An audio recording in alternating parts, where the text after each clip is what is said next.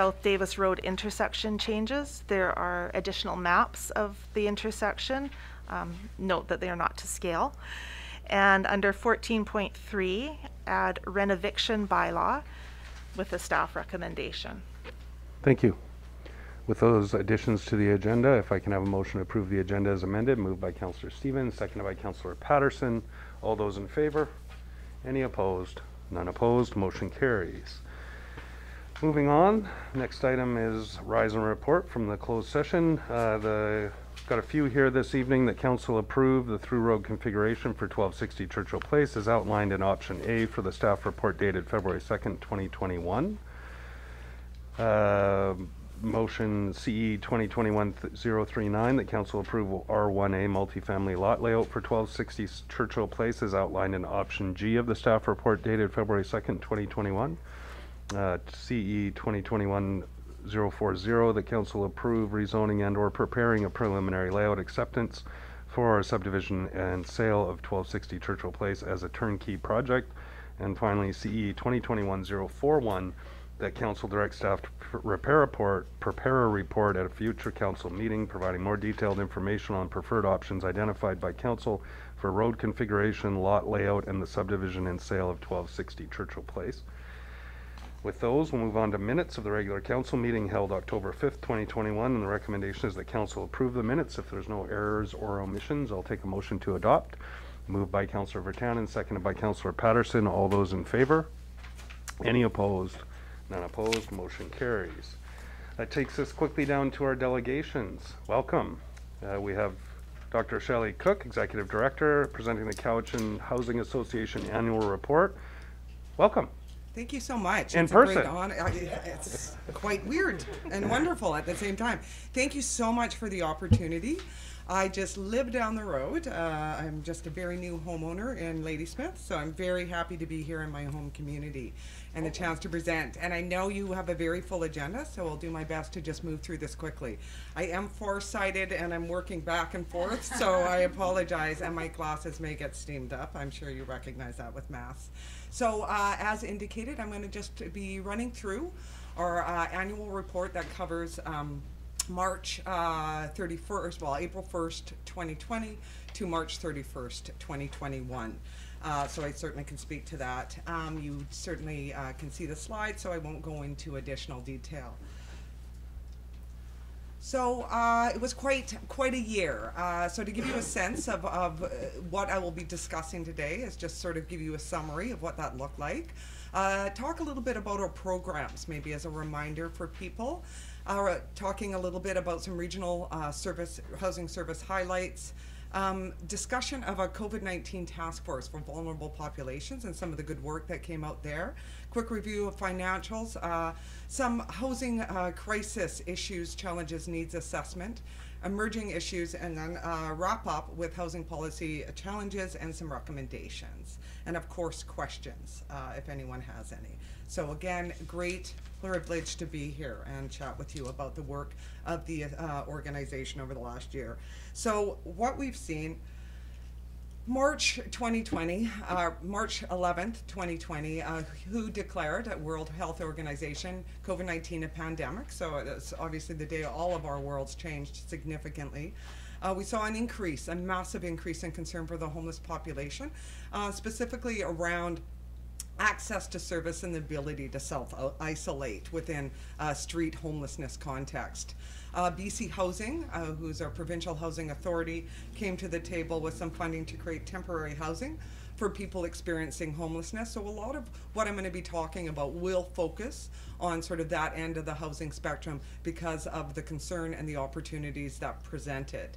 Um, increase uh, so we had the covid-19 task force for vulnerable uh, populations was created and we developed emergency housing plan so i'll talk a little bit more about the makeup of that task force in a moment uh, we saw increasing significant increasing numbers uh, around homelessness uh, best estimates about 270 people 300 uh, on waitlist for about 100 units of supportive housing. Our 2020 point in time count, uh, which is really a snapshot into a window into homelessness across uh, the Cowichan Valley, identified 129 individuals. So that disparity there is really, again, a lot about the point in time being real snapshot and not necessarily being able to capture all the people that, that really we would consider unhoused.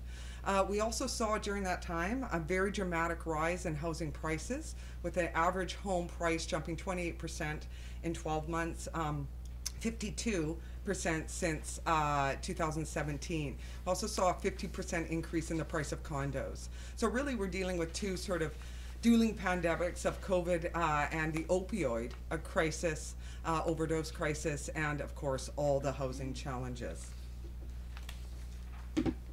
So this is just an overview of our programs and certainly the work, some of the work that we're doing to address housing challenges across the CVRD.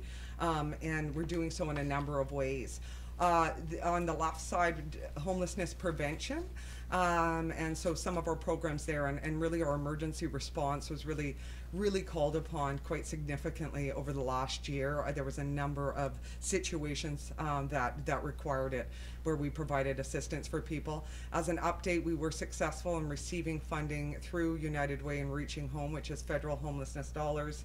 Uh, then to uh, provide a housing loss prevention worker. So our, our goal is always to prevent people from being unhoused wherever possible. In terms of our emergency response, moving to the sort of left corner, bottom corner, uh, we saw a number of fires, um, uh, couple, two significant ones in particular, uh, and then the work of the COVID, COVID task force, where we uh, were developing what we're talking about as cabin sites or uh, sleeping cabins, sleeping units, a number of different ways where small little modular houses were used as a really first step in terms of housing people directly off the street. And we were also engaged Ramada Hotel. Um, just sort of quickly running over, I recognize I have limited time. Regional Housing Service, those are two of our main programs. Uh, we also do research and information and a lot of community development work. So we're working on a lot of fronts uh, to address uh, housing concerns within the region. Um, so what we have here is a sort of a summary of some of the work that we did through the Regional Housing Service. I can say that I was absolutely thrilled uh, that uh, we have a Lady, Ladysmith Resource Center Association was successful in their application as one our very first um, project out of, the, out of the Rental Housing Capital Contribution Fund. Um, and so I'm sure you've all seen that on and heard lots about it on Buller Road. Uh, beautiful, um, beautiful project that we're really happy to support. Uh, so there was actually uh, three approved and two pending for a total of four 452 new, new new units through just you know that one arm of the project. We also uh, entertain a number of development uh, projects for development funding to help sort of get some ideas off the ground, get traction to explore the feasibility of them. And then we also have an emergency contingency fund, uh, and it sort of breaks down the money in terms of how that's allotted to the various programs. Um, so again, that was and really essential funding to help us address the issues related uh, to the fire. Uh, so just some comments about the COVID-19 task force. That was uh, local government, all levels of government, local government, provincial, federal, as well as uh, business community and nonprofit organizations coming together to really sort of uh, rally around the house po unhoused population and, and make uh, whatever opportunities we could realize those opportunities through the funding that was coming through so that outlines some of the work that was done. You can see a significant amount of money flowed into our community to address homelessness and it's, it's continuing. And that's our little sleeping cabin, so it gives you a sense of what that looks like. Uh, in terms of our financials, um, and so again, I, I had talked about earlier uh, the the the focus and really the opportunity around uh, the funding that was coming to our community, a lot of that to address how, unhoused people related to concerns around COVID-19. So uh, our total budget was just shy of $2 million. Uh, 250 was the Regional Housing Service Fund money. So we, we brought in uh, over, um, yeah, about just over 100, uh, $1.7 million in additional funding to our region uh, over and above the regional housing service funding. So I think that's really important. But it really breaks down. And again, these are opportunities that really materialized during uh, the pandemic. So in terms of um, housing crisis uh, and challenges that we saw, I alluded earlier to just a dramatic uh, increase in the average sale price for single family dwellings, uh, as well as increase in condos. This was having a dramatic impact um, on on so many people, but most particularly, we are hearing from first-time home buyers that are finding it incredibly difficult to get into the home uh, the the market.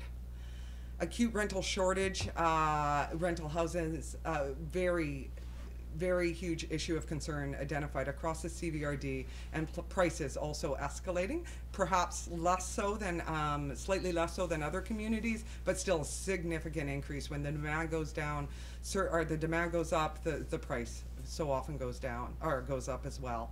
Uh, renovations and renovictions. um, I'm very careful around my language. Uh, but there was a number of renovations uh, that had ended in a lot of renovictions for people. And while we recognize the need uh, to to improve the standard of older buildings and, and bring them um, up to code and, and ensure that they, they are um, you know adequate housing, uh, what we're seeing a lot of is older building being turned over, um, being renovated, and people displaced in uh, because of a very high increase in rents that were going uh, going on. So it was a huge concern. So I, I did see the um, the discussion around a renoviction policy. I think that's fantastic. Uh, we're we're still left with a bit of questions around the impact of vacation rentals uh, for for reasons I'll talk about a little bit. Uh, but we are recognizing that vacation rentals are having a significant impact on the availability of uh, long-term housing for people um, and uh, wanting to sort of dig deeper into to what that exactly looks like. Uh, we've also experienced a lot of um, issues, both in terms of access but also discrimination. Uh, and we saw that particularly in terms of First Nations, youth, and racialized uh, people. Um, and those in receipt of income assistance, which can be an immediate deterrent for landlords. Um, so this is uh, sort of a breakdown in terms of the projections around the housing that's needed for the region, and it's it's an interesting sort of slide because it really shows that our projections sometimes fall significantly short. You can see uh, that we're um, it's projected in terms of the Cowichan Attainable Housing Strategy that we will need 5,000 units by 2025. Um, we're sort of on track to fall behind by uh, you know a good at least 570 units um, e- at, at this point um, in the first year. So it's something that we're really concerned about. Canadian Rental Housing Index um, indicates that this is sort of what they're projecting our rents to be. We did a bit of a an analysis by looking online, um, and that was done in July. And you can see that what current rents are uh, are already exceeding the projections. Um, so it's it's a very difficult time for people, uh, both in terms of you know home ownership and rental housing. Um, so some uh, emerging issues uh, that we experienced as an organization, it was a lack of available land for social housing projects uh, in particular. Uh, and so we had, those are three examples of projects where it was, it was absolutely uh, incredibly concerning and, and uh, risking these opportunities because of a lack of available land. And so that's some uh, an issue of great concern for us at the uh, at Cowichan Housing Association.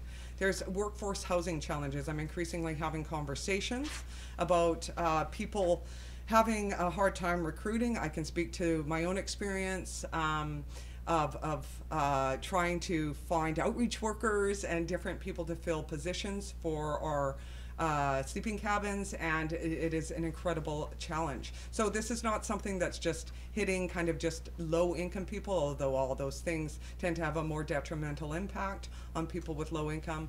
Uh, but at the same time, it, it's really starting to have a broad effect across communities. I was having conversations uh, even with uh, people about doctors being discouraged from coming to our region because of challenges. Um, and so I think there's there's kind of perception sometimes and the reality of who's experiencing these challenges are a lot broader than people may recognize. um, we're seeing an increase in people living in non-standard housing, uh, couches, vehicles. Well, well, those things always existed. It is becoming um, uh, really increasing rapidly as as some of those other pressures around cost and availability also rise. Uh, aging rental stock. So this is where you know the two significant fires were concerns, and then renovictions causing displacement and and really um, disproportionately impacting low-income individuals and then seeing the end to some COVID specific housing protections that helped um, ensure housing and, and um, ongoing support for some of our most vulnerable populations. So that's obviously a huge issue of concern as well. Um, so just to sort of touch on uh, a couple things, obviously we recognize the importance of policy levers uh, being very um, powerful in terms of helping to sort of realize some affordable housing options. So there's four specific themes. I'll just touch a little bit on, on some areas where we experience some challenge. Um, and would like to sort of make some recommendations. In terms of land provision and acquisition, I really want to encourage local government uh, to to uh, to acquire and, and retain land wherever possible for affordable housing. Um, and, and thinking about pre-zoning land for increased density as well as land trust partnerships. In terms of the preservation of rental housing, uh, it's this issue, and again, I, I think it's so wonderful to see that uh, discussion around uh, renoviction policy, but to prevent uh, renovictions wherever possible and require displacement of, uh, pardon me, replacement of any affordable housing units that are lost. We're also encouraging um, a potential business license around um, vacation rentals so we can really get a handle a little bit more on, on what those look like in our region um, and the impact that they may be having. Um, housing market barriers, uh, ensure family-friendly housing, lobby for inclusion of the CVRD within the spec speculation tax region.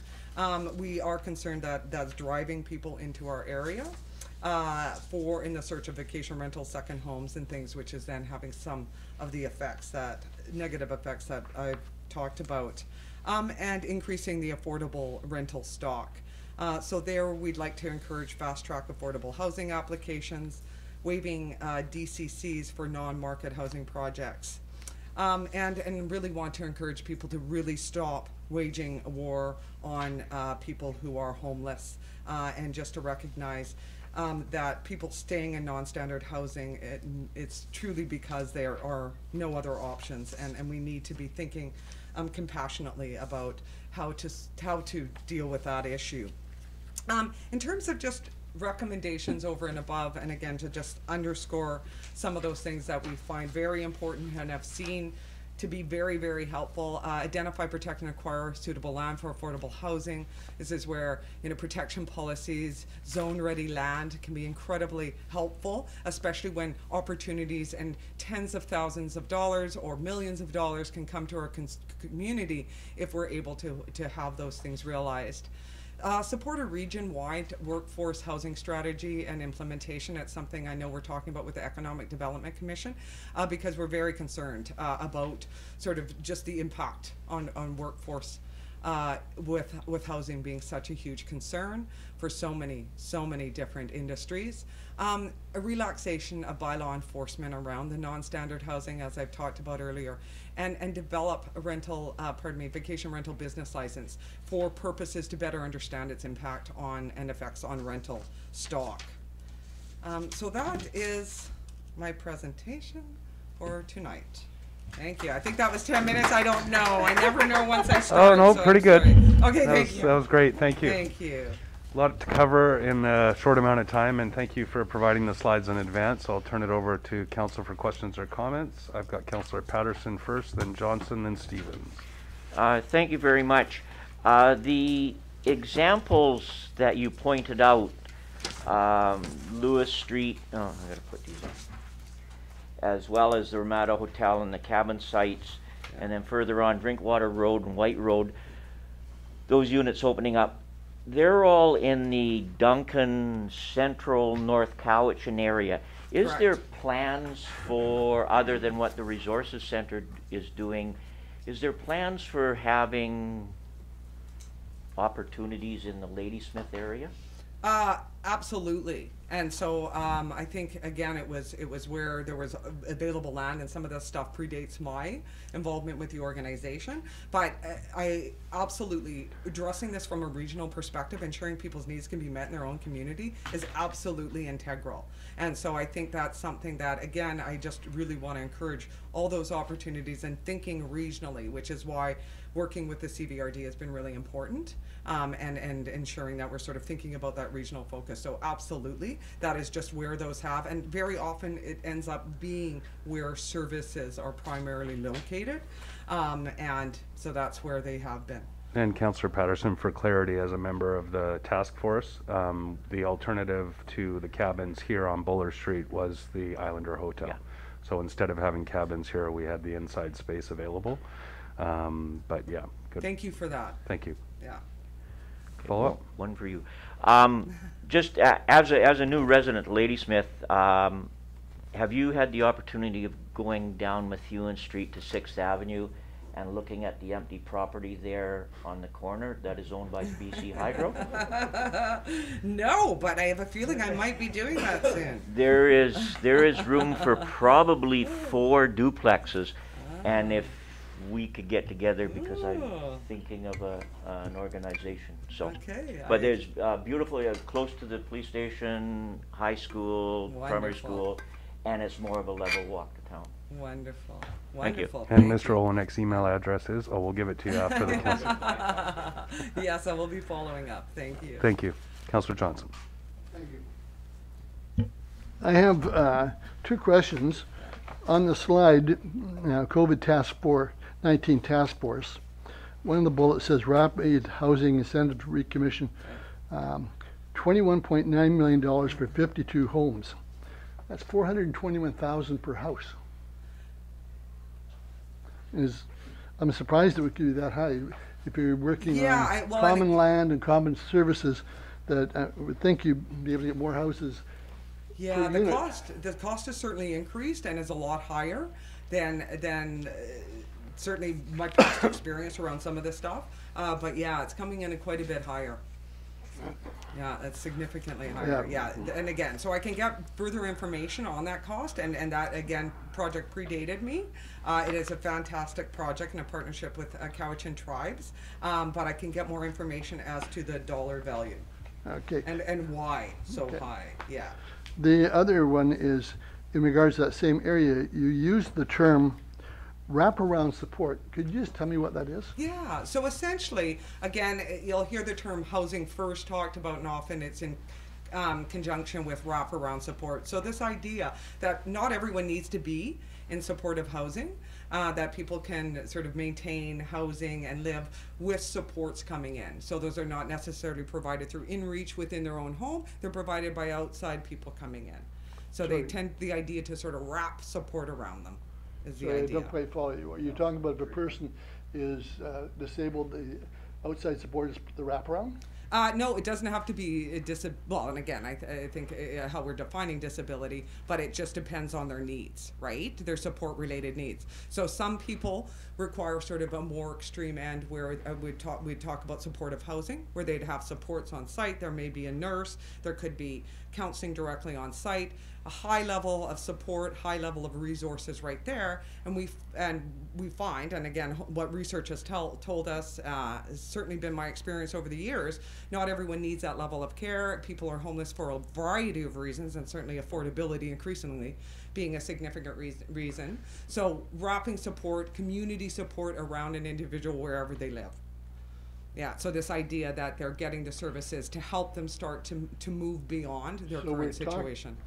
So we're talking about basically the equivalent of long-term care right down to somebody just having a place to live and sleep and move. Is that part of the spectrum?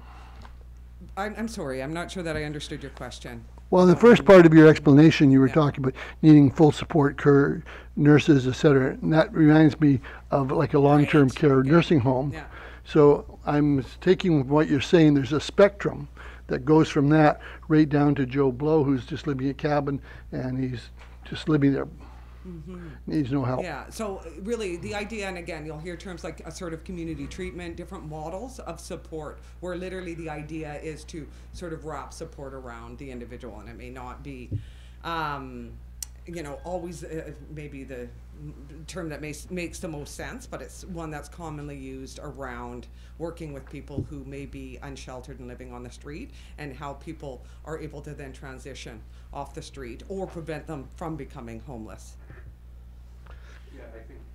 Counselor Johnson, because I want Yeah. to give others No, opportunities. no, I was just gonna say, I was There- gonna a- thank a her. spectrum, a spectrum is a, a good way to look at it. Some people may just need some mental health support, some intervention, some counseling. Others may need Right. drug resources. Others may just need a safe, warm place to get their feet back under them and move on. So Right. The, the spectrum then would mean there'd be a spectrum of costs associated also. But anyways, I thank you for the information. Yeah, you're so welcome. Yeah, we Thank think you. about it as a continuum of, of support. Thank you. Yeah. thank you, Counselor Stevens. Takes a while to get used to the mics again. Uh, thanks so much for the presentation. I was I was really happy you put up the last slide, or, slide around uh, recommendations. I really think it encompasses or Yeah. encapsulates a lot of the, the important things. Um, other things in the report, and it was it's an awesome report to read. I'm I'm so pleased with it. Uh, the the points you made about uh, types of housing, and I know you're probably going to go to other councils, and there's an empowerment that you can give to other councils, and I think this one too of pointing out that the very the, moving away from single family homes Mm-hmm. often councils can take some flack around different types of housing, particularly in the case of density, and things like that. Um, this is really, there's a lot of points in here that empower and embolden, I think, to, to go down that road. Um, Okay. and then, of course, the infrastructure argument, where it's lighter infrastructure, mhm. less requirements for water for, that- with that type of housing too. So, um, the, I like really that you've, you've really gotten to the stage too that you're talking about the housing crisis across the spectrum. Yeah. Of it's, it's the homeless, which is the classic, I think, CHA Mm, association Yeah, the most extreme to, end of the to- spectrum. to businesses approaching you. I know local businesses have approached me about having trouble Absolutely. with, with getting staff at what the wage they Absolutely. can pay, and and because of the housing situation, right up to doctors, which Yeah, is the awesome, absolutely. awesome Um, gold standard of, of the crisis where we're at. Mhm. Yeah. Um, Absolutely. So, and I, I guess the final point I'll make, um, you've, you said you're new to Ladysmith. You might, I don't know whether you're new to the Cowichan Valley. There was certainly a lot of debate around the Mhm. housing service. yeah. Um, there was a big argument around the value you'd get for it. mhm. Uh, I didn't need any convincing at the time, but I will say, I don't think anyone could, could argue now with looking at the leverage, the, the amount of dollars you've leveraged to the value for that service. Mm-hmm. Thank you. Um, and I quite frankly couldn't imagine what COVID would have been like if CHA didn't exist, um, in terms of, uh, right across the spectrum, as I'm Yeah. sa- saying. The homeless, uh, the tradi- in the traditional sense, but right across the spectrum, the work you're doing. mhm, So, mhm. it's all praise around from me, Mm-hmm. um, and thank you so much. Thank you so much. I really appreciate those those comments, and I think there is there's a real recognition um, on our part that that housing is and the crisis around housing is much broader than people who are currently unhoused. And so, from my perspective and my passion around it is is finding creative ways um, to to work with municipalities, work with uh, business businesses, landowners to to realize these opportunities. So I want to thank you so much for your great questions. Thank you. Uh, any other members of council that haven't had an opportunity before I go back for round two? Seeing none, Counselor Johnson. Thank you. One of the key things I got out of you, uh, your report was the, the need for more rental accommodation. One of the problems with rental accommodation is the government has set limits to uh, annual increases in rent to about one and a half or two percent, which doesn't even cover the cost of living. What kind of pressure are you putting on the government to uh, maybe reduce that or change that uh, percentage to a more allowable rate so that more people will go into the market to build rental units because nobody basically is wanting to uh, build rental. Yeah, um, yeah, I've had this conversation going back for years when I was chair of the housing committee at the city of Kelowna, um, and so I recognize that there's there's a cost issue. I, I wouldn't be advocating, quite honestly, for that. I recognize that is can be an issue from a builder's and a profit perspective. There isn't. I'd be looking for different ways that we can make that achievable uh, for for businesses, uh, pardon me, for developers. And so, from my perspective, I think that there's lots of other opportunities that we can explore around the creation of rental housing. Um, th- I'm seeing the impact of that extremely high rent and and how that is displacing people. And so while I don't begrudge people to be able to sort of create housing and then provide it uh, at the cost that they can they can provide it at, uh, at the same time I see the negative impacts of of incredibly high and increasing rents um, and and keeping pace with any increases that people are getting through any sources of income and, and far outstripping uh, so many of the people that I'm working with. And so I do understand uh, that's a concern. I would be thinking more broadly around how we sort of encourage that in different ways and can provide other measures that will reduce costs that can assist people to create rental housing, including, you know, providing them with a capital contribution grant that can help make it more uh, achievable. And follow up? Thank you. My follow-up would be, I like the idea of uh, the grants, but when we as a municipal table, we're looking at the costs, we're looking at often a tax increases of three percent. And if the rental increase can only go up one and a half percent, um, it's a win-lose proposition. So I like your, some of your suggestions.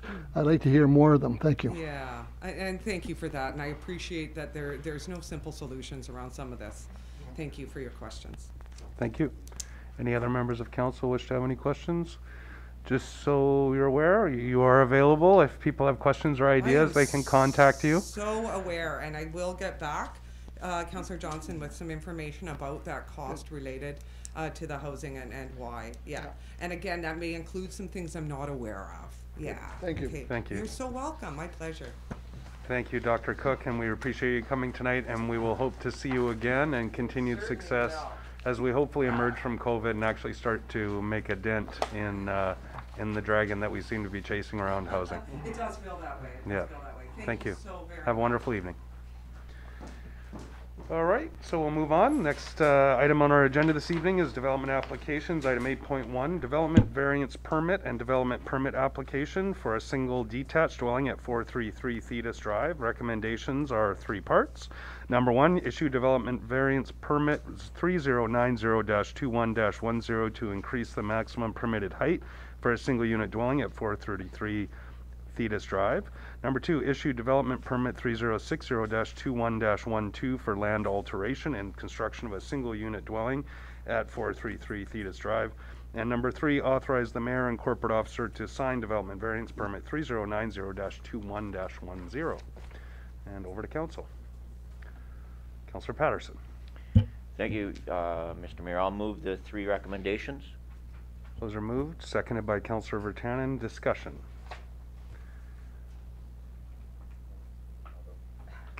Councilor Stevens, I was like, no discussion? Uh, I was, I was thinking, I, I, I, I'll, I'll say some general comments and hopefully it will spur some discussion. I really was, uh, looking to, for the wisdom of the crowd here on this one. Um, I, you know, on paper, I have, I, I don't have a problem with this. Uh, in my gut, I have a problem with this, and it's, it's, it's one of the, the choices we have to make at, at points. Um, uh, you know, in general, it, it does meet the, uh, the spirit of, uh, the OCP. Um, it's, it's a large, uh, height request, uh, uh, difference in height request, but given the topography, it's, it's justified. The street view is, uh, you know, doesn't, um, if you were on the street, it doesn't re- really reveal what's going on below the bank. By the same token, um, if my memory serves, and maybe Councillor Paterson can, uh, was present at the time, I believe in 2008 or 9, um, these lots came looking for a batch variance, I, I think quite similar to this, to deal with the top, uh, topography and a significant um, variance in height. And I, I believe that at the time it was seen as a, maybe a bridge too far because it was going to create a bunch of houses that were all very tall. Uh, the scenario, I'm wondering if it's death by a thousand cuts now with this house, the first one, it doesn't look that tall, and then it becomes somewhat like an Oyster Bay garage.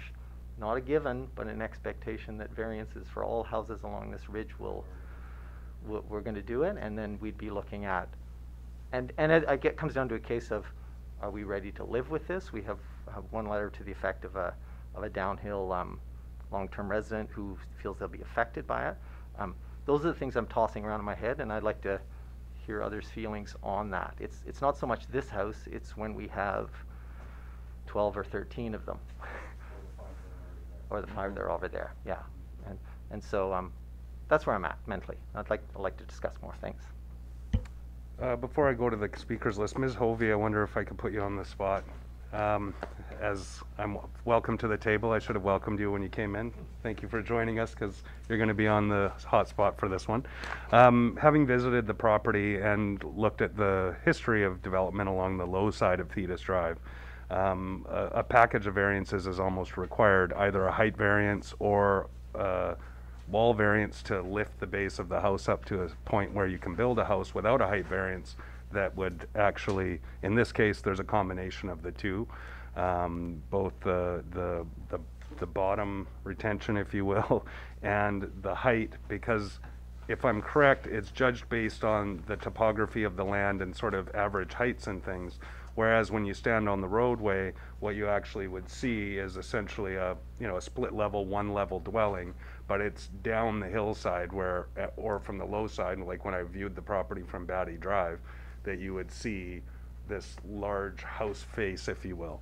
Um, as a planner, looking at lots like this, is there a feasible way to build residences there without some sort of variance being granted? Like, I can imagine if it- you go down to grade and you put a building that is within the zoning without a variance, it would actually be below grade from Thetis Drive and require some kind of engineering marvel um, from a driveway to be able to even access the property.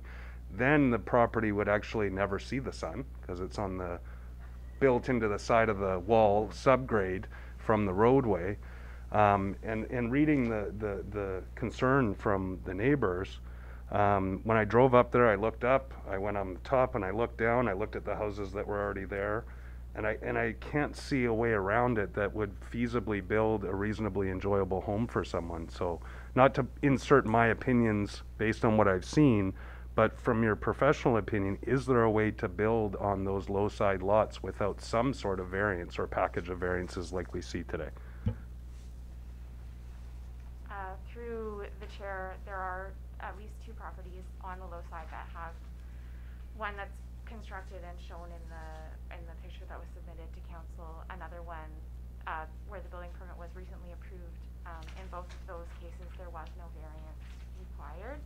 Um, Of course, each lot has its own specific topography, so there, there might be slight, slight differences. Um, So, but I would say that it is, it is possible, if difficult. Thank you. And I had Counselor McKay next and then Counselor Paterson.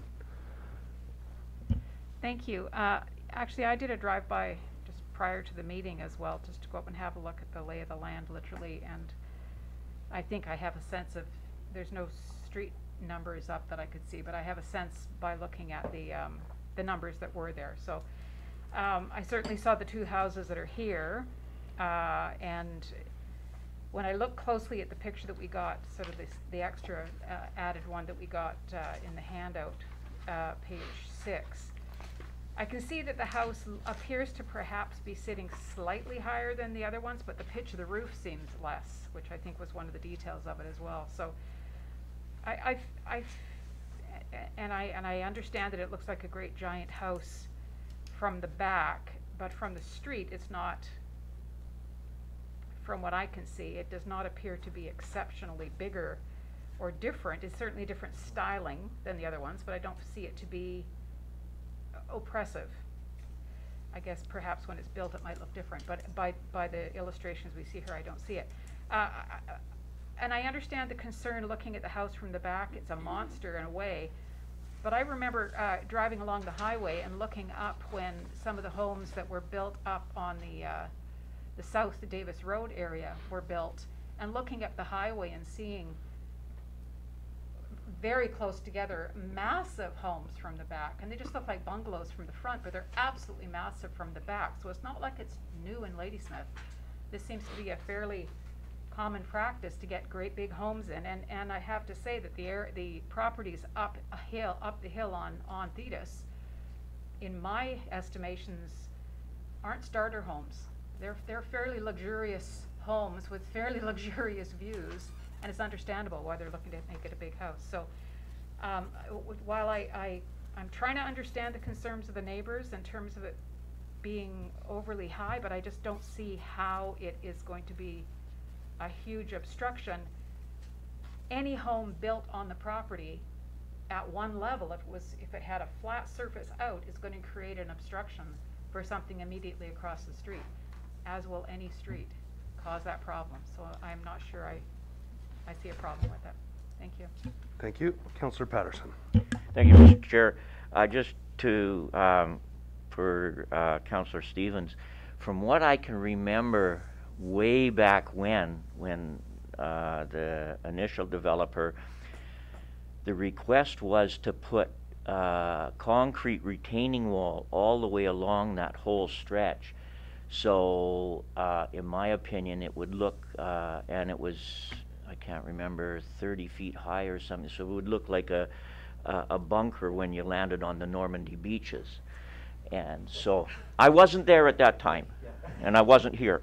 But, um, so that was the, the, uh, uh, issue that the council of the day had, uh, from what I can remember.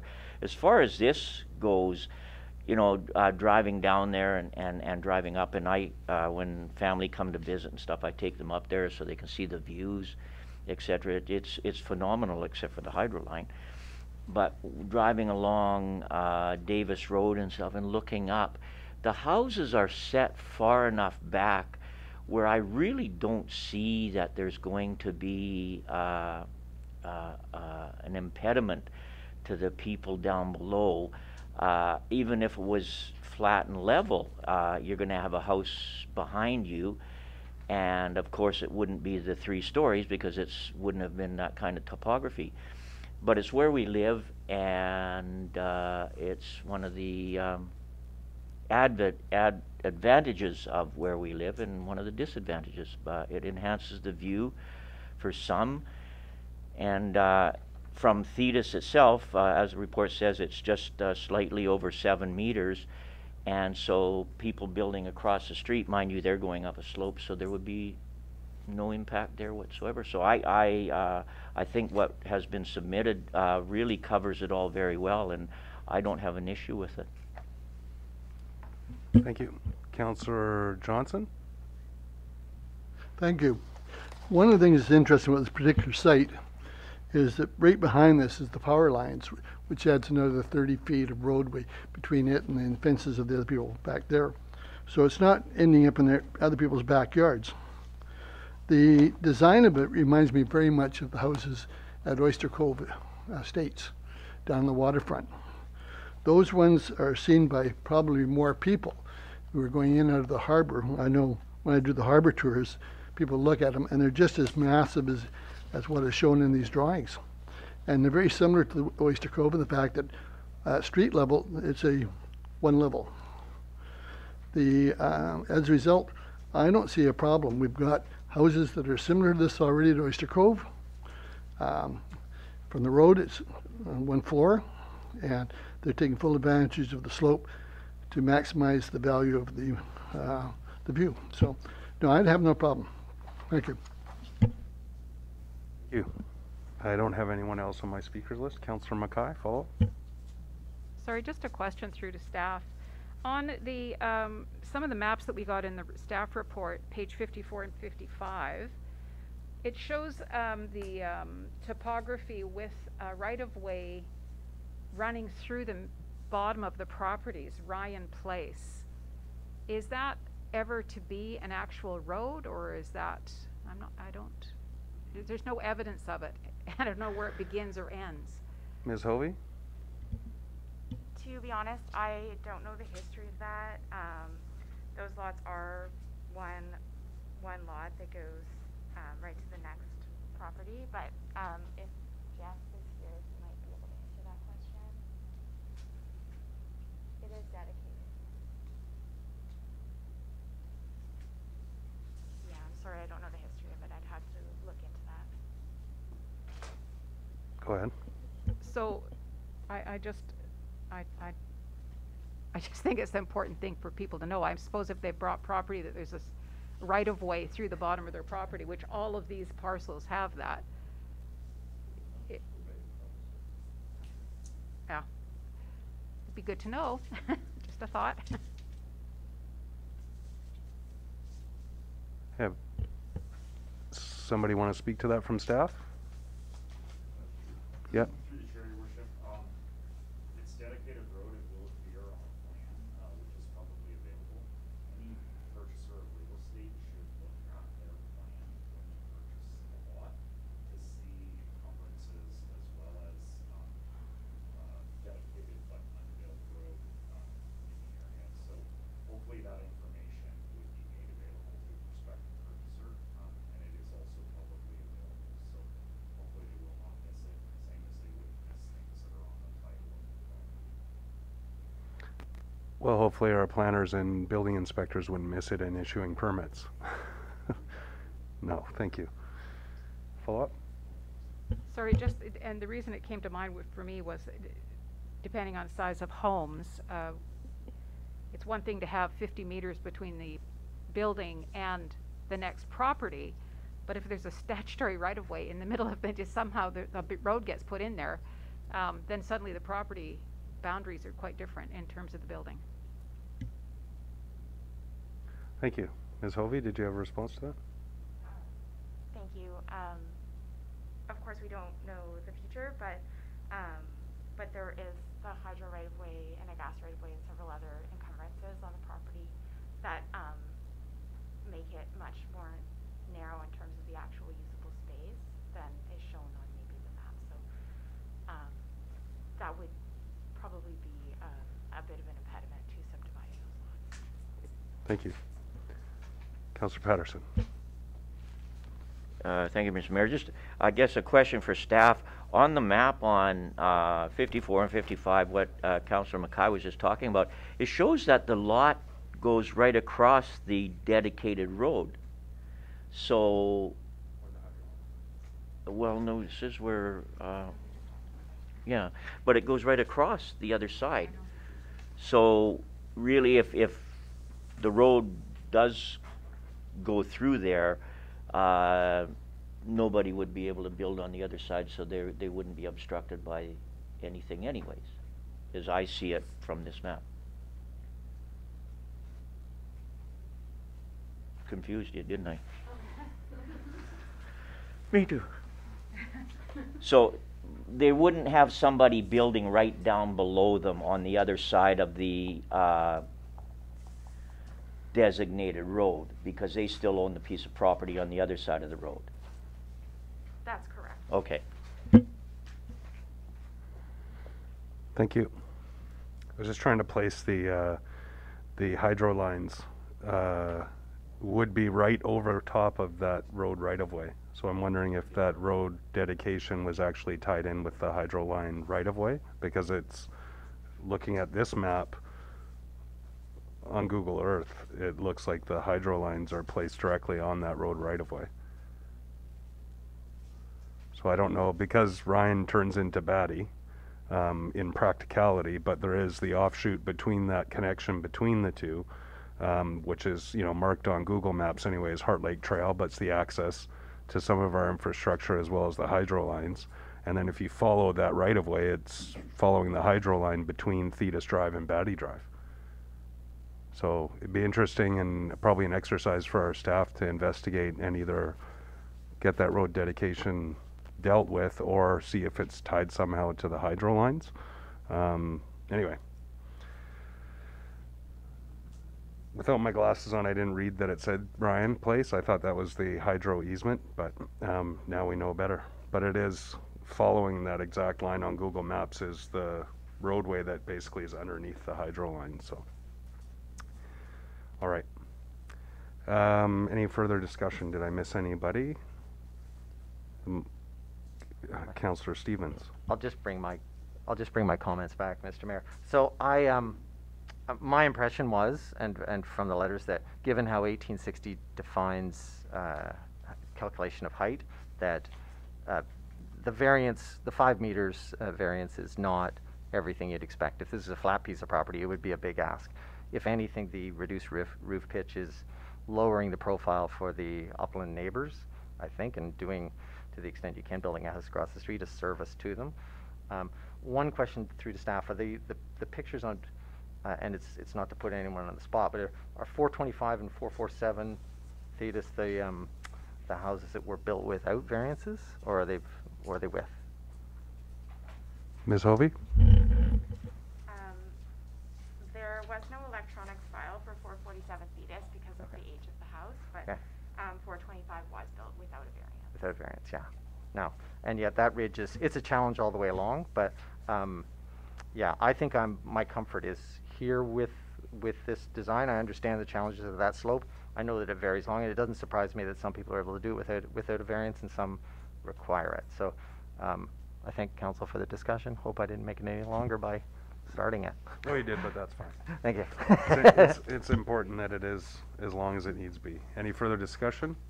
It has been moved and seconded. I'll call the question. All those in favor? None opposed, motion carries. All right, moving on. Next item is, sorry, just finding my page again. Wrong booklet. Bylaws Official Community Plan and Zoning. Thank you, Ms. Hovey. Oh, we have our other planning team member here. Welcome. It's just strange to see everybody in person. I feel like I haven't met any of these people in person. Um, zoning bylaw amendment application for 431 First Avenue. The recommendation is that council give first and second readings to Town of Ladysmith zoning bylaw 2014, number 1860, amendment bylaw number 45, 2021, number 2091, and number two, direct staff to proceed with scheduling and notification for a public hearing for bylaw number 2091 as directed, as required under section 4641 of the Local Government Act. Moved by Counselor Jacobson, seconded by Counselor Paterson, open for discussion. See, uh, Counselor McKay and then Paterson.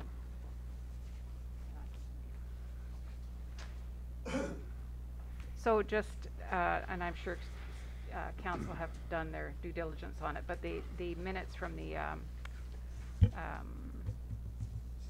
CPAC, thank you, uh, meeting are included in the agenda uh, later on, and um, there was a fair amount of support for this um, project from the CPAC, um, and particularly around the enhancement to the appearance of the building, putting on the dormers and such to improve the, the roof line and to um, continue to build the vitality of the downtown.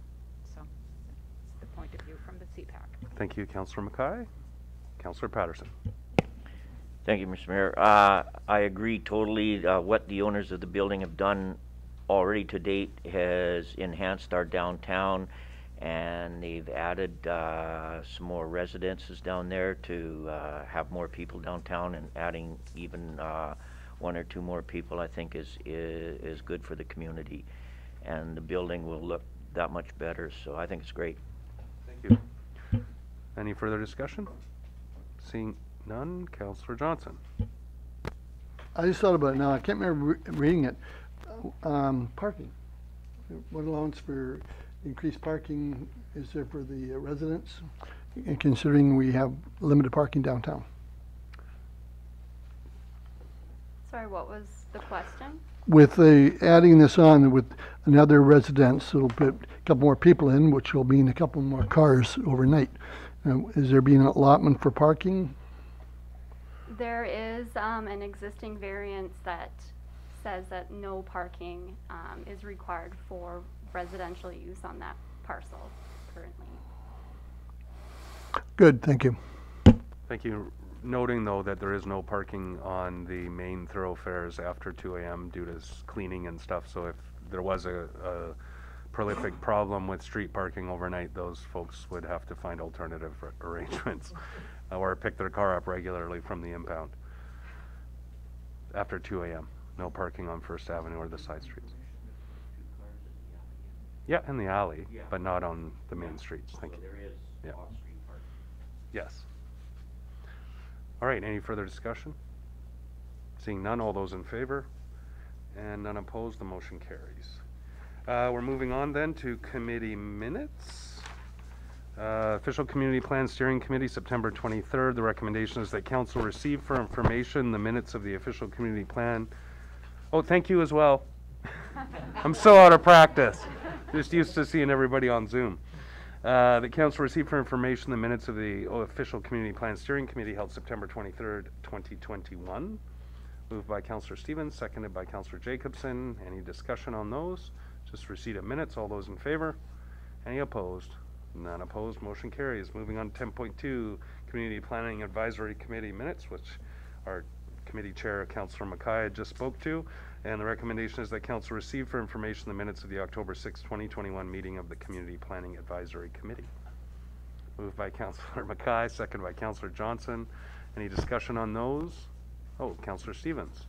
I'll just say uh, thank you to uh, Councillor McKay and her committee for uh, examining items before they come to us so that we have a second uh, voice. It's nice to not even have to refer. Thank you. Thank you. Any further discussion? All those in favor? Any opposed? None opposed? Motion carries. We warm the seat up for you, Mr. Goodall. Next item on our agenda is item 11.1, reprioritization of 2021 water projects, and the recommendations are four points.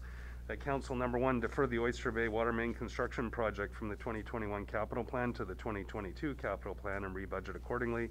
Number two, move the Kitchen Street Water Main Replacement Project from 2022 capital plan into the 2021 capital plan at a cost of 165,000 with funds to come from the Oyster Bay Water Main Project. Number three, add the replacement of Park Hill Terrace Water Main from Neville Street to the end of the street to the 2021 capital plan at an estimated cost of $100,000 with funds coming from the Water Reserve. And number four, amend the 2021 to 2025 financial plan accordingly. Moved by Councillor Stevens, seconded by Councillor Jacobson. Discussion. Councillor Paterson. Thank you. Um, item number two, uh, move the Kitchener uh, water main, et cetera, et. Does that leave uh, any funds in the uh, Oyster Bay um, side of the project? Well, it would be moved to the 2022 budget. Yeah. So it's just basically shifting We're not one project that way and two projects this way. Okay. correct. So But- we're not, well, I guess We're we are not- depleting it in a way, but, This year's, The only um, real depletion, not really a depletion, is we are adding hundred thousand dollars here for item number three, and that's Mhm. coming out of the reserve. But other than that, there's, an- over the two years, there's no change. okay, thank you. Councillor McKay. Thank you. Uh, just, uh, I- I'm all in favor of rechanneling the money to where it can be spent, because I think the more we do on the infrastructure, uh, replacement and development, the better the money is spent, for sure. Um, I'm just curious about, uh, you know, there's not a lot of time left between now and the end of the year, and I'm wondering about, uh, the impact for residents in the area. Would they normally have a better lead time into any kind of work like this? And how extensive a disruption will it be to those uh, parts of those streets? Mr. Goodall. Um, Through the mayor, the, the way these projects work is they don't go to the end of the year. These projects will actually span into March, um, so it's not as tight a timeline as you think. But saying that, there is significant disruption to the community when we do water main replacement. Very much like the water main replacements that we did last year, there is disruption. The contractors work to um, ensure that everybody gets access, but it is disruptive. Um, the idea that we're trying here is, is we seem to get good pricing when we have a fairly broad timeline for contractors to finish projects, and when we do them in the off-season. So when we're, instead of doing our construction through the summer, when we do it through the um, winter months, we seem to get a lot better pricing. Thank you. Any further discussion? Seeing none, I'll call the question. All those in favor? Any opposed? None opposed. Motion carries. I think we're on to number 12. Nope, number 11.2, Yard Waste Pilot Program, Fall 2021. Recommendation is that council approve two additional yard waste curbside collection days per route in the fall of 2021, using funding remaining from the 2021 Yard Waste Pilot Project Program budget. Moved by, moved by Councillor Stevens, seconded by Councillor Paterson. Any discussion? Councillor Stevens. Uh, Thank you. I just want to say that uh, people on the street, emails we get, have all been positive about this program. I really hope we're able to make it work in the longer term. Uh, I'll particularly have two neighbors that are very happy and let me come walk in my driveway without being harassed uh, for doing this. So um, it's, it's great to see. Uh, the uptake is, is over, um, session over session is great to see. And I'd like to see where we go in terms of, of, uh, stopping, you know, uh, dumping around neighborhoods at the end of, uh, road allowances and things like that as a result of this. So, fully in support. Thank you. Thank you. Any further discussion? Seeing none, all those in favor? And none opposed, the motion carries. Moving on to bylaws. How's everybody doing? We're an hour and a bit in. You good? Okay, we'll continue. Moving on to bylaws, item twelve point one, amendments to council procedure, bylaw two thousand nine, number sixteen sixty-six. Recommendation is that council give first, second, and third readings to council procedure bylaw two thousand nine, number sixteen sixty-six, amendment bylaw number four, twenty twenty-one, number twenty ninety-two. Moved by Councillor Stevens, seconded by Councillor Virtanen. Discussion? Councillors Johnson and Paterson. Uh, Councillor Johnson and then Paterson. Appreciate that, that I'm still the chair of the meeting. Go ahead. I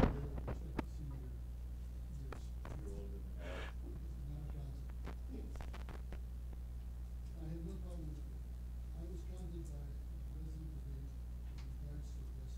One of the things in the fine print here is question about the procedures of the meetings.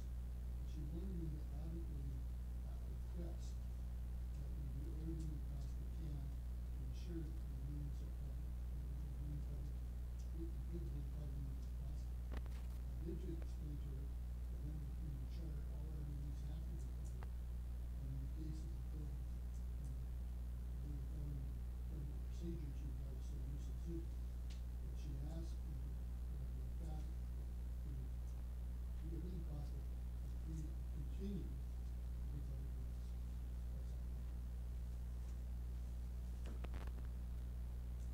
I'm not sure where to begin. We're in a public meeting. They're available online. They can access them in person or, I made that point uh, to her, but she wanted me, me, asked me to specifically bring it up at this meeting and make, make the point. okay.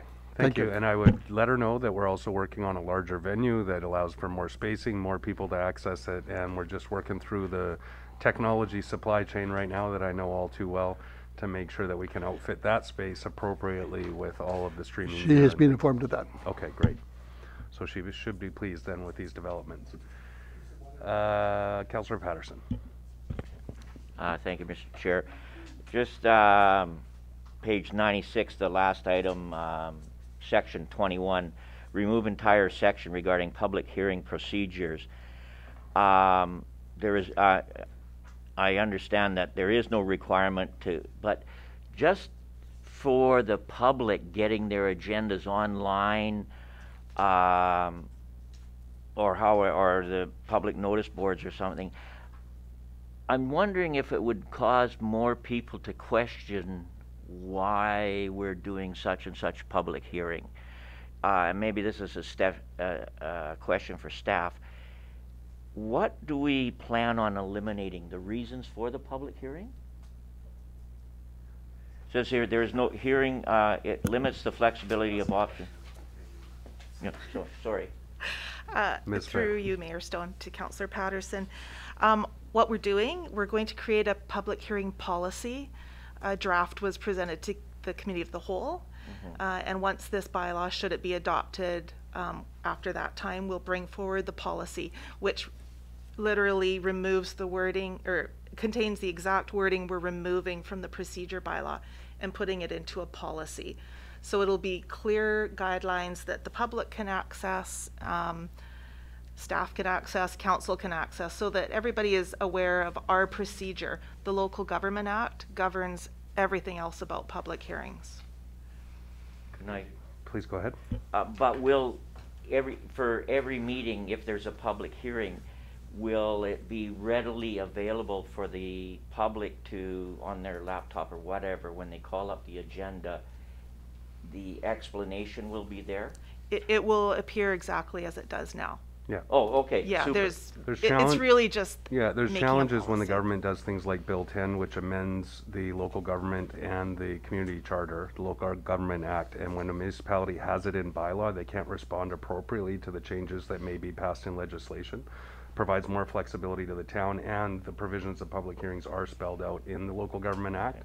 So it's just a cleaner, best best practices way to approach public hearings. Council procedures bylaws speak to the things that aren't spoken to in either the local government act or the community charter about how we conduct our business here in Ladysmith. Okay, so the public will still get uh, as best view as possible. Okay. Hopefully front row in a better uh, venue. Okay. Thank you.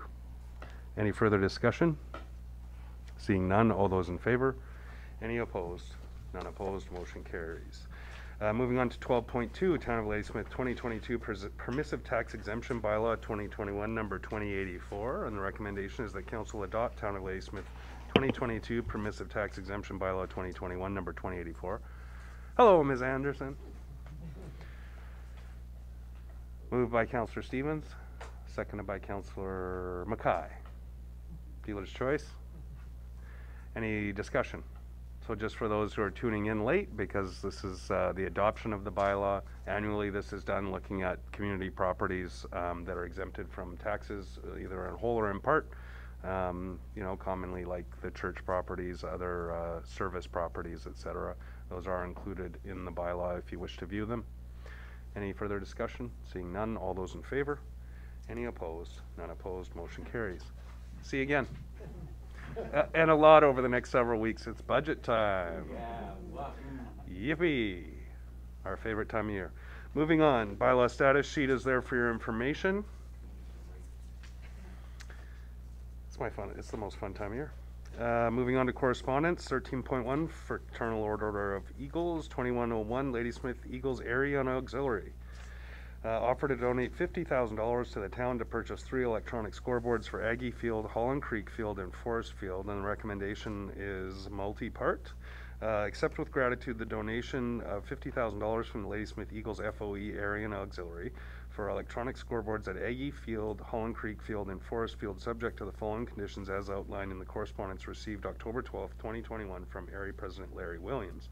Installation of dedicated signs, dedication signs acknowledging the Eagles donation, and the publication of a joint press release announcing the donation and additional press release upon completion of the project. Direct staff to order and install the scoreboards, and three, direct the mayor on behalf of council to send a letter thanking the Eagles for their generous donation. Moved by Councillor Virtanen and seconded by Councillor Jacobson, sure. Everybody gets in on the act. Councillors Pa- uh, Paterson, then Johnson. Uh, Thank you very much, Mr. Mayor. Uh, It's, I think this is absolutely fantastic. Um, Again, it shows the, uh, the dedication and commitment of volunteers, and a, a community would not be a community without volunteers. But just a question, I guess, through to staff.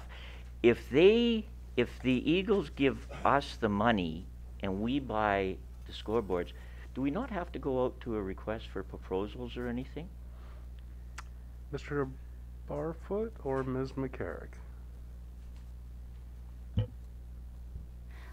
I might bring our finance officer in here, but I believe that seventy-five thousand is our, um, our, our purchasing threshold.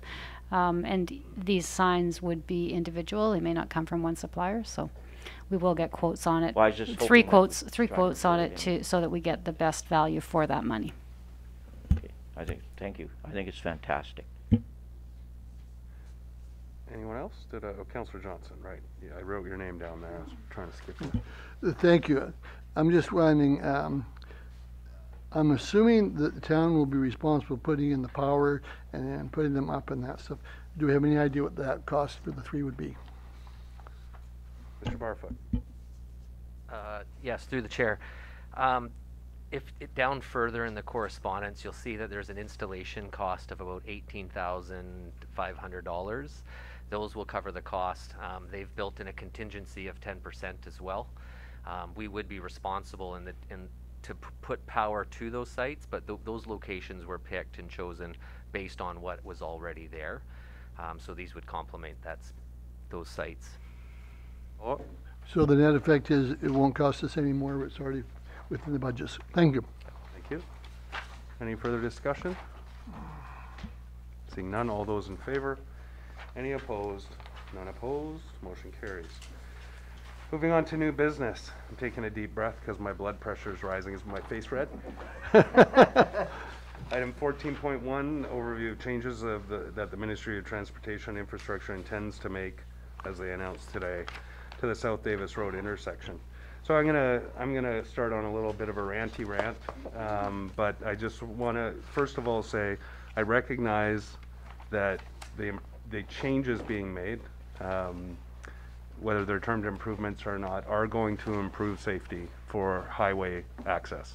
Full stop. Um, I, Mr. Goodall, sorry about that. Um, and our staff have worked really hard over the last two plus years. There's been community members, some of which are here tonight, that have advocated very strongly. Um, and although they may not realize it, at cross purposes at times, many of the neighbors in the area are advocating for absolutely no stoplights, and many of the uh, neighbors have advocated for uh, controlled intersection. We've had lengthy discussions with the ministry around acceleration and deceleration lanes, egress and access to and from the highway, uh, access roads um, connected along the highway corridor, et cetera, et cetera, et cetera, ad nauseum. Um, we've met with the ministers, both Trevena and Fleming, uh, as far back as three and a half years ago, and as recently as uh, just about two months ago, I believe, maybe two and a half months ago.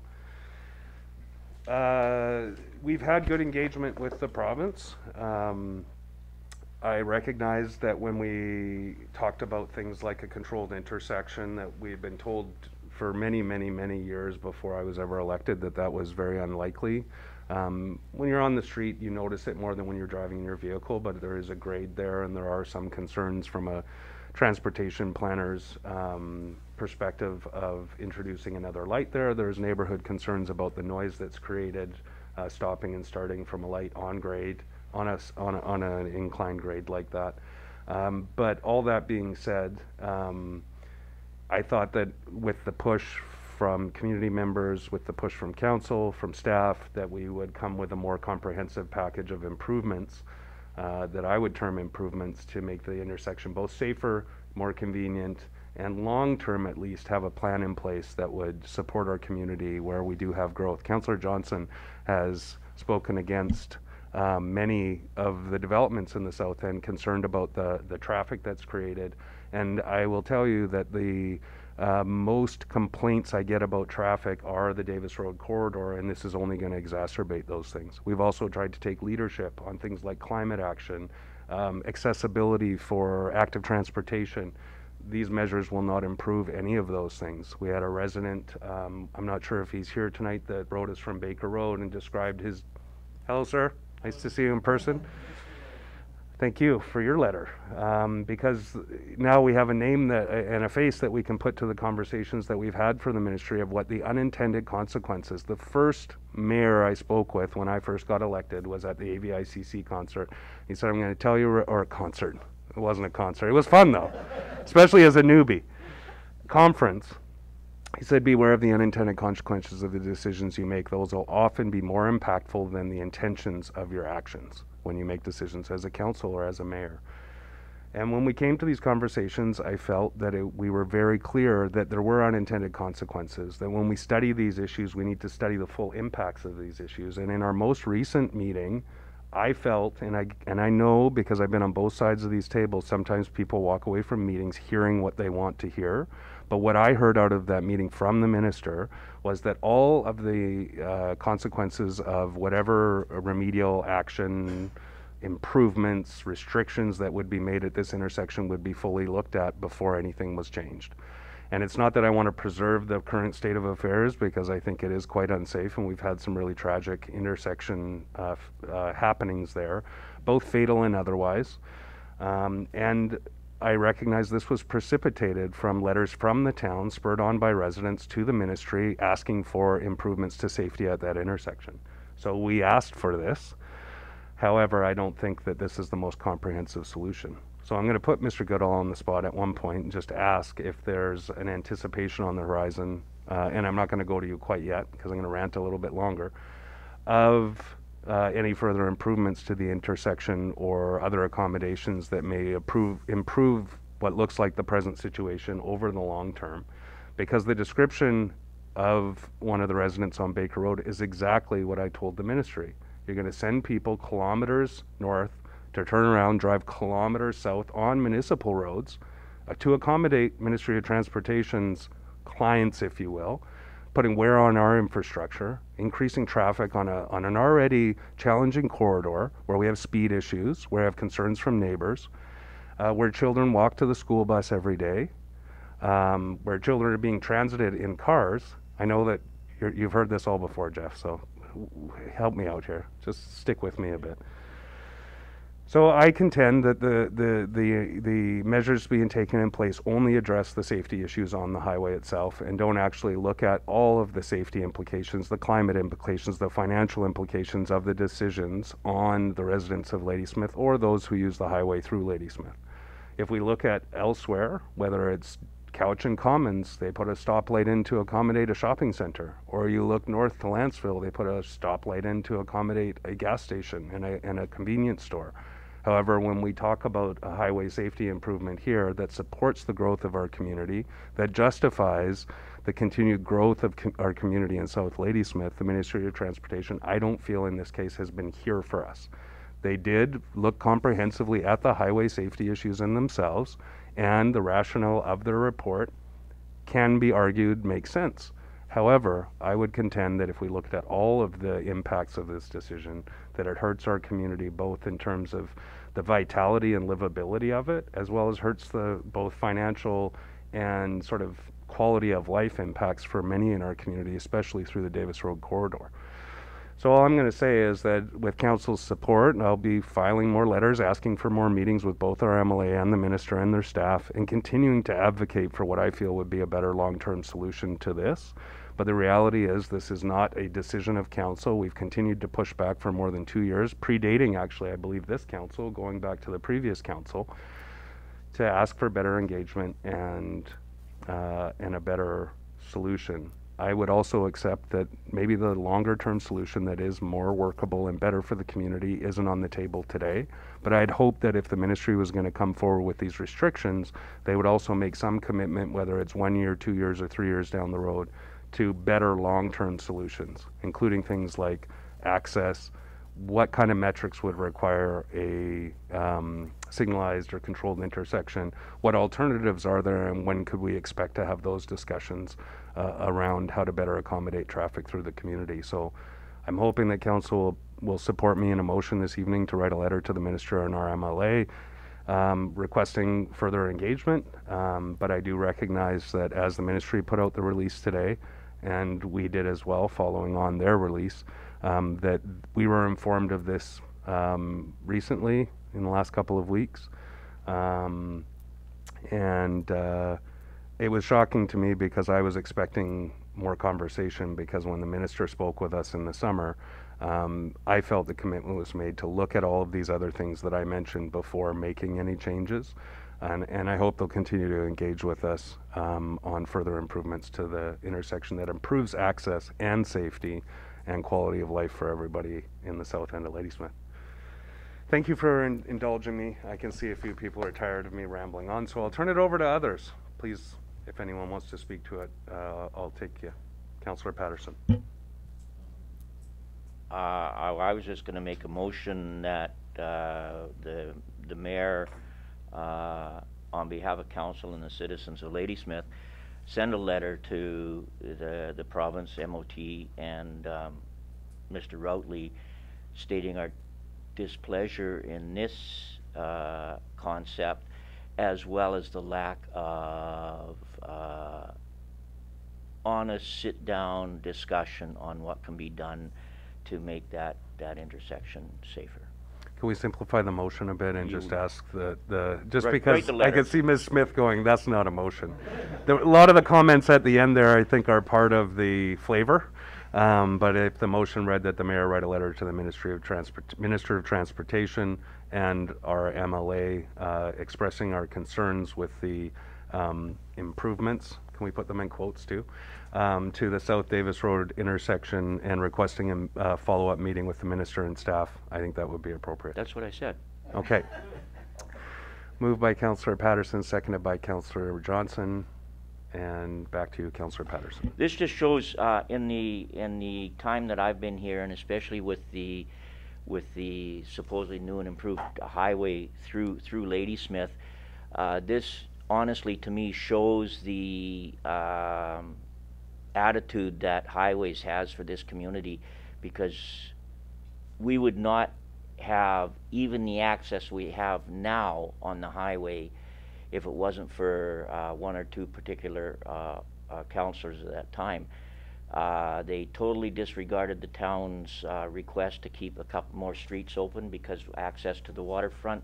They totally disregarded the town's request to lower the speed limit all the way from the Diamond Bridge to, um, uh, hmm? Yeah.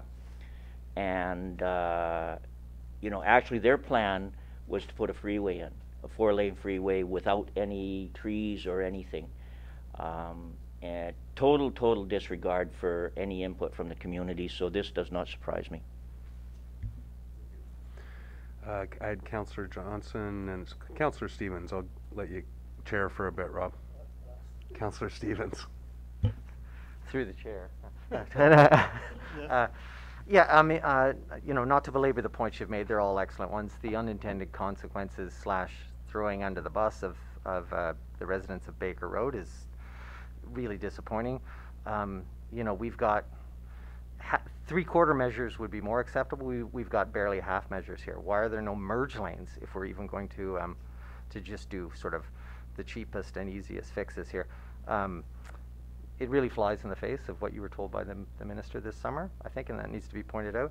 And I think if we're, and I'm, I'm sure you will, in, in asking for longer term solutions, um, if we're going to be a two year time frame on, on the, all the improvements or, or a five year time, we need to know that timeline, and we need to know, we need to know all of the improvements. Uh, we need some, we need some carrots here to, to get us through that time. Uh, speed limit reductions, all the safety measures, additional road accesses.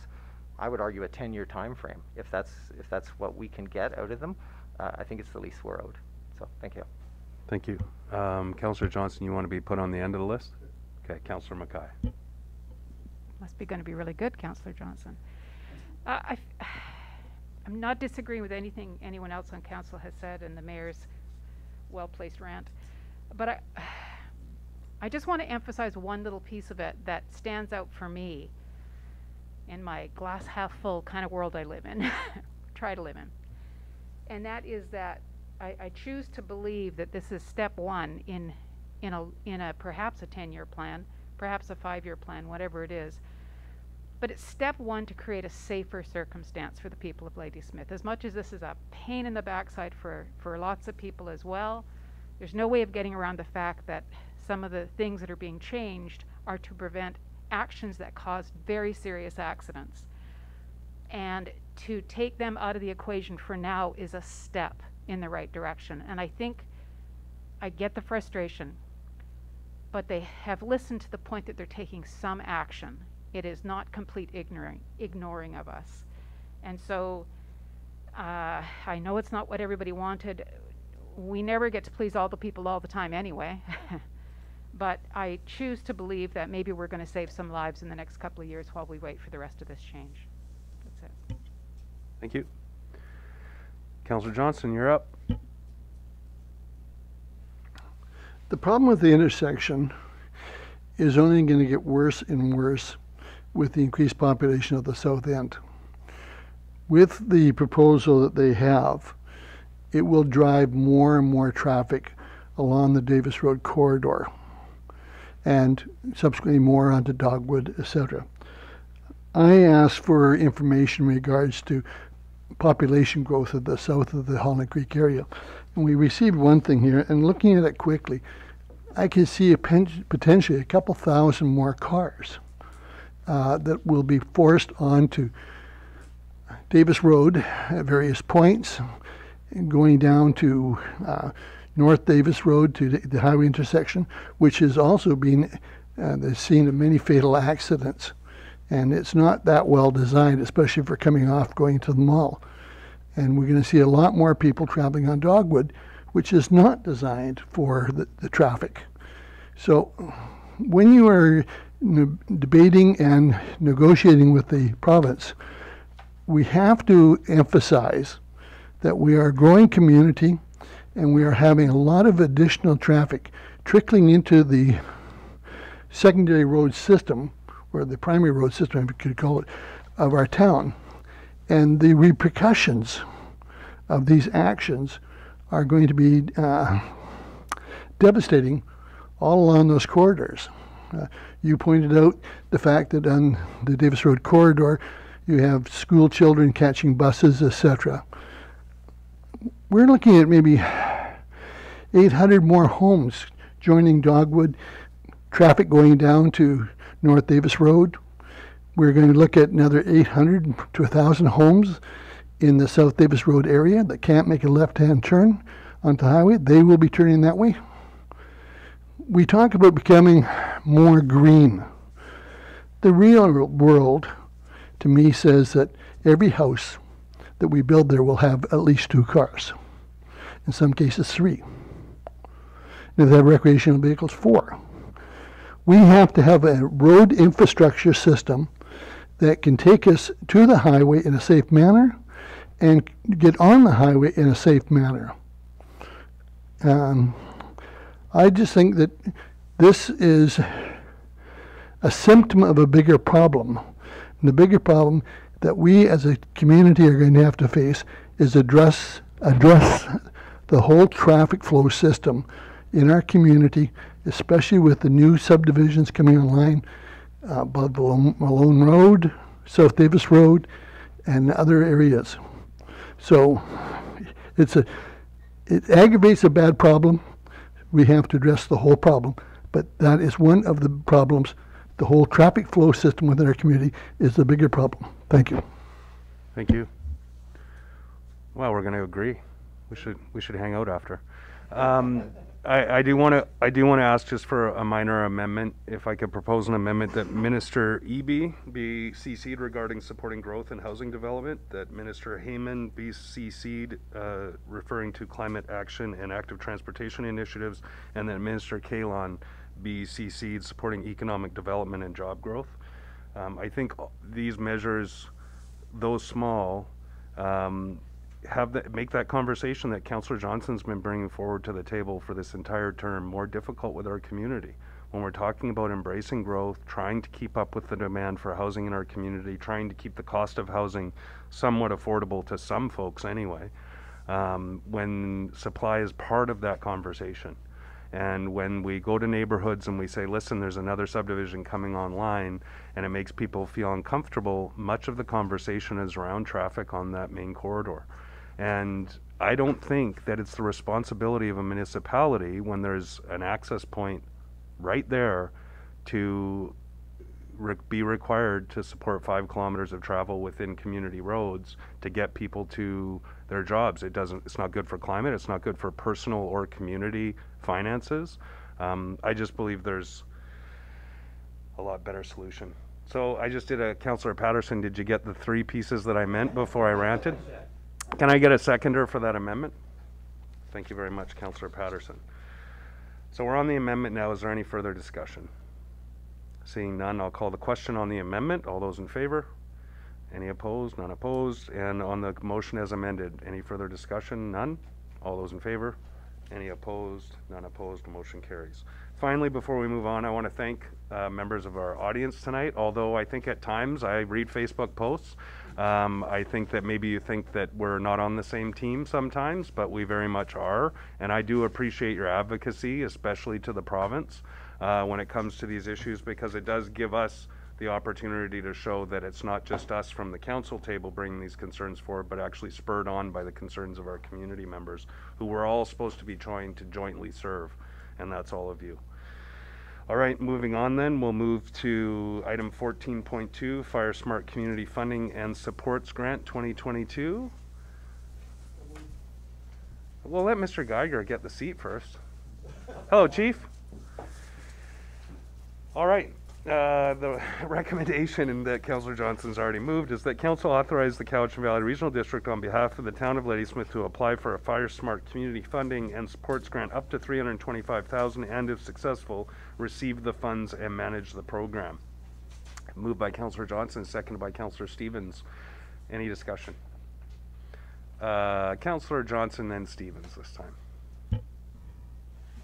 through the chair to the fire chief, on this grant program, how much money this do you see in regards to projects relating to our immediate area?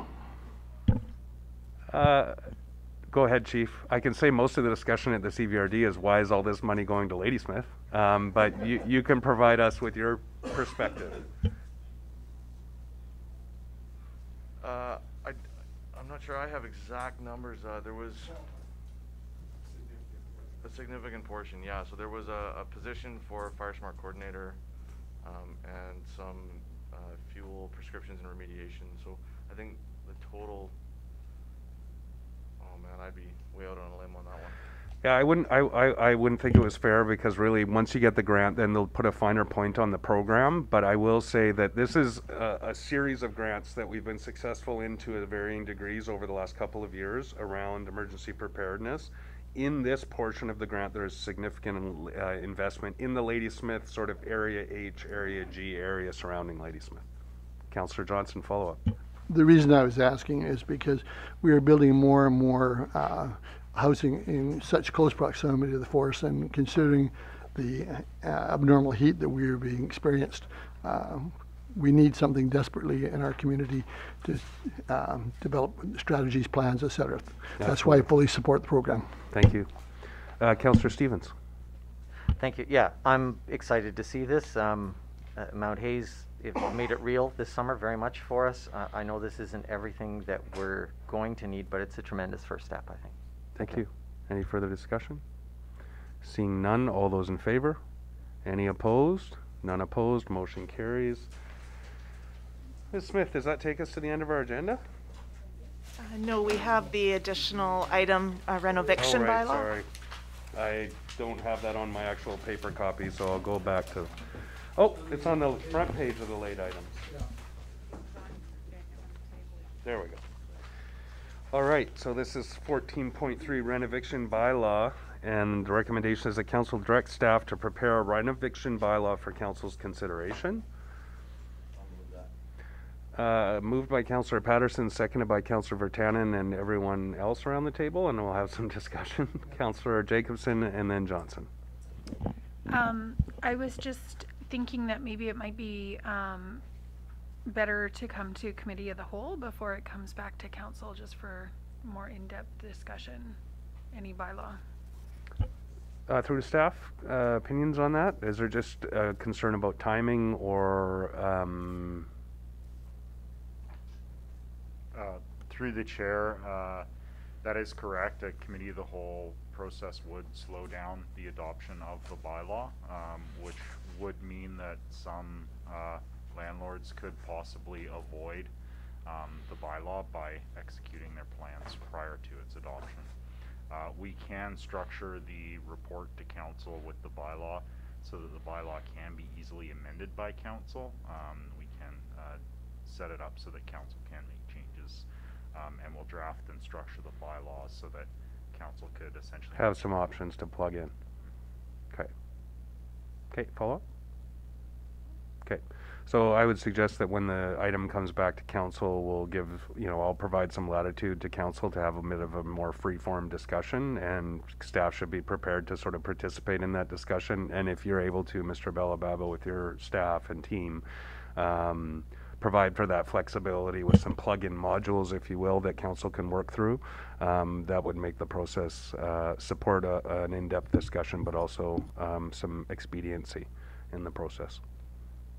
Uh, sorry, I didn't. Uh, I, I saw I saw Councillor Johnson, Councillor Stevens, and Councillor Paterson, but I did see Councillor Stevens first.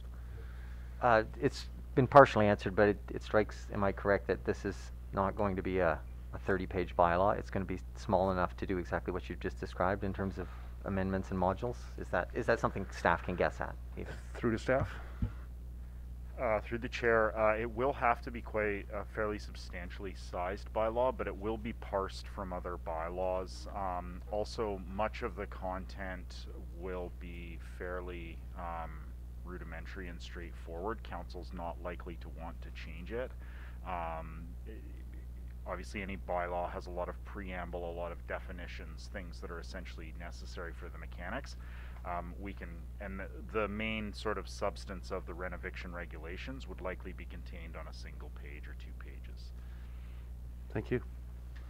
Councillor Johnson and then Paterson.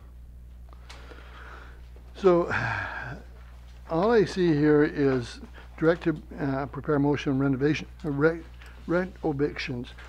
I don't know the definition of the word. What Well, are we actually, I have an idea what we're talking about, but what is the in- actual intent of this? Is it the um, baby apartments situation?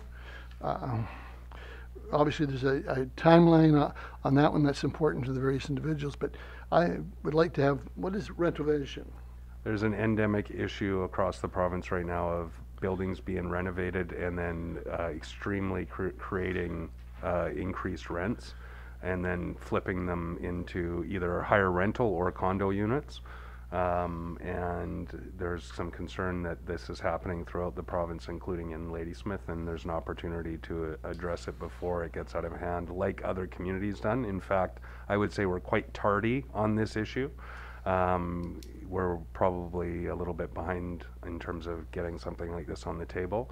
If you're not quite clear on it, staff can come prepared after this direction is given to inform council and perhaps maybe provide a bit of a presentation to council on the, the what renovictions are and maybe some of the elements of it prior to the discussion of the bylaw.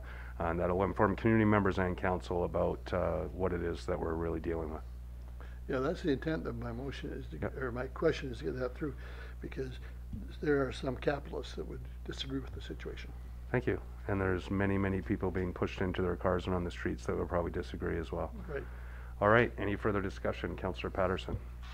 Uh, uh, Just uh, uh, a a couple of, uh, I guess one is a comment, is there is other municipalities out there that do have uh, these bylaws, so I would hope that staff would be able to glean through those fairly quickly and and have something back to us um, as soon as they can. Uh, But secondly, once the word gets out there, and hopefully not, but do we have a way of stopping um, people that want to jump the gun before this is enacted? Mr. Belobaba. Uh, Through the chair, uh, just to comment on the first point, yes, we will be uh, using another municipality's bylaw as a template, so that will make the drafting process very fast. Um, On the second question, um, yes, there's a number of steps. Uh, The residential tenancy branch, uh, the Residential Tenancy Act, I should say, was amended to address rent evictions to some degree.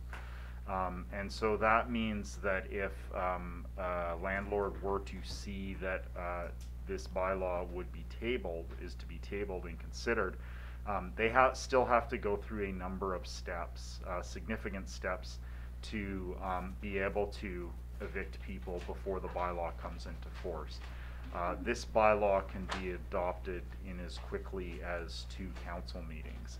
Um, so there is a good chance that if we're fortunate and are able to bring it forward fast enough, that um, many landlords would simply not be able to get through the residential tenancy process um, to execute a renoviction um, before the bylaw comes into force. Thank you. Thank you. Any further discussion? Oh, Councillor Jacobson. Just a follow-up to bring this back to, um, my hope that we would bring this to the committee of the whole first. We have a meeting on November the 9th. Would that give staff enough time to prepare? Um, if it, and then we have two council meetings, one on the sixteenth and then one again on December the seventh. So it sounds like, um, I mean, the level of red tape that somebody would need to go through, um, if this is what they were intending to do, they probably wouldn't be able to get through it within the next, what, eight weeks? Not even. So, uh, before I go to Mr. Belobaba, I recognize, and then that- that timeline you just mentioned, the first meeting is a council meeting. It would be up to council if we felt at that meeting where the bylaw options are presented, if we wanted to continue to discuss it at committee of the whole. Um, But Mr. Belobaba, if, Uh, we may actually be able to work with those uh, timelines through the chair. Uh, if I think our plan, we've already missed the cutoff for the November 2nd meeting, so that would mean the sixteenth meeting would be the first meeting that we could introduce the bylaw. Um, so presumably, we could actually have it on the agenda for the committee of the whole on the ninth. Okay. Um, so it may actually work, um, I'll work with legislative services and we'll see if we can, um, make that work. So we do have a motion on the floor. Uh, Would an amendment be in order that, um, because you're saying basically that for the next council meeting, it's too late? So really, the first opportunity for council to discuss this would be at that committee, of the whole meeting? Uh, yeah, it would appear so. Um, I don't see a need to amend the resolution because it's simply to bring a by, a bylaw back to council, so staff usually make the choice as to whether to present it to committee. of the whole. If I could suggest then that maybe a bit of a presentation, just kind of going through it, be brought to the committee of the whole meeting with where the bylaw is at that time. And then that gives the opportunity to have the discussion at committee of the whole, and then move to the bylaw in council. Thank you. And then maybe to address Councillor Johnson's concerns about the presentation and, and just digging a little deeper into what this actually looks like so that we can make an informed decision on, on the scope of this Yeah. bylaw. Thank you. All right, any further discussion? Seeing none, I'll call the question. All those in favor? Any opposed? None opposed, motion carries. Uh, Ms. Smith takes us to question period. I sorry, I started packing up. I thought, because everybody walked out, I thought the meeting was over. Thank you, Mayor Stone. So we have two questions. The first one may be operational, but, it's from Board Work, asking when will the town make COVID nineteen vaccination a requirement for all staff? Uh, I would put that through to staff. You can answer offline. That's not a question for council at this time. Uh, second question is from uh, Jerry Stasia. Uh, finding the question here. Uh, it's regarding the change, proposed changes to the South Davis intersection. Mm-hmm. Uh, the question as to when Ministry of Transportation with council, as the community has already spoken, will undertake and commit to solutions that adequately support the growing South Community.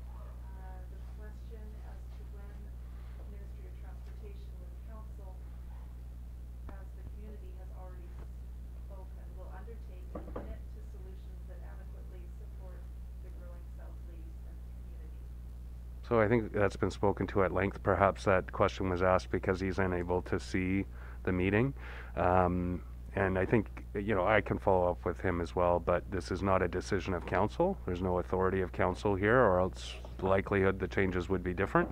Um, but uh, in the case of what it is, um, the ministry has announced today they're moving ahead with the changes. Uh, specific timelines, I don't know, but perhaps we can find out what their best estimates are and I can inform him. Okay, thank you. All right, with that, we'll ask for a motion to adjourn. Moved by Councillor Stevens, seconded by Councillor McKay. All those in favor? Any opposed? None opposed. Motion carries. We are adjourned. Thank you all.